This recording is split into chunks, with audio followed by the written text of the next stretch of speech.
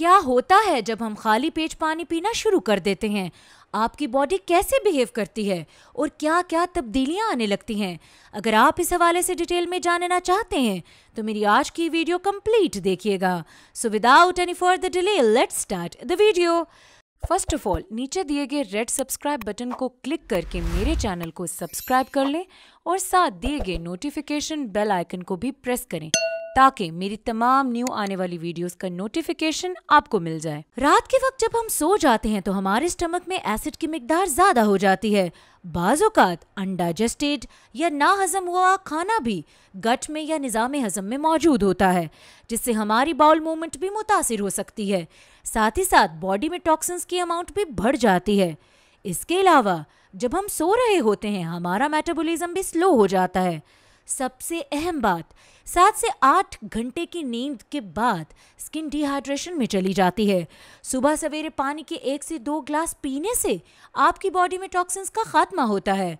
मैदे की तजाबियत ख़त्म हो जाती है। अनडाइजेस्टेड और ना हजम हुआ खाना भी पानी पीने की वजह से बाउल मूवमेंट नॉर्मल होने से बॉडी से बाहर आ जाता है। एक मज़े की बात आपसे शेयर करती चलूँ। क्या आप जानते हैं जापानीज खातन क्यों उम्र को मात देती हैं? और बूढ़ी औरतें भी जवान नज़र आती हैं, क्योंकि निहार मुँह दो से चार ग्लास पानी पीना एक मशहूर जापानीज प्रैक्टिस है।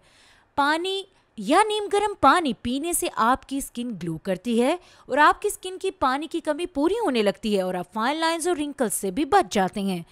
जिस्म का मेटाबॉलिज्म भी फास्ट होता है। नीम गर्म पानी के इस्तेमाल से पेट की और जिस्म की इजाफी चर्बी गलने लगती है। आप पानी को नेचुरल चीज़ों के साथ भी निहारमो इस्तेमाल कर सकते हैं। जैसे कि लेमन हल्दी, सौंफ, ज़ीरा, इमली, आलू बुखारा और भिंडी वगैरह। इन सबको पानी में डाल के पीने के खास फ़ायदे होते हैं। जैसे निहारमो पानी में लेमन मिला के पीने से जिसम की इजाफी चर्बी गल जाती है ब्लड कोलेस्ट्रोल कम होता है, दिल की बीमारियों से बचाव मिलता है और इसमें मौजूद विटामिन सी आपका चेहरा ग्लो करवाता है। पानी में सौंफ डाल के पीने से मैदे के अमराज में अफाका होता है। पानी में ज़ीरा डाल के पीने से डाइजेशन बेहतर होती है। ज़ीरे वाला पानी एंटीऑक्सीडेंट होता है और कैंसर के रिस्क को ख़त्म करता है। पानी में हल्दी डाल के पीने से यूट्रस की मुख्तलिफ़ बीमारियों से और हड्डियों और पट्ठों के दर्द से अफाका होता है। पानी में इमली, आलू बुखारा डाल के पीने से मैदे की गर्मी, तजाबियत कम होती है और बीपी कंट्रोल रहता है।